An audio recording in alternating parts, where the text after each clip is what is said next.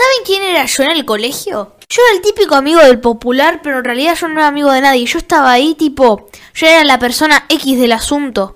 Y ya me adelanté porque dije asunto. ¿A qué me refiero con asunto?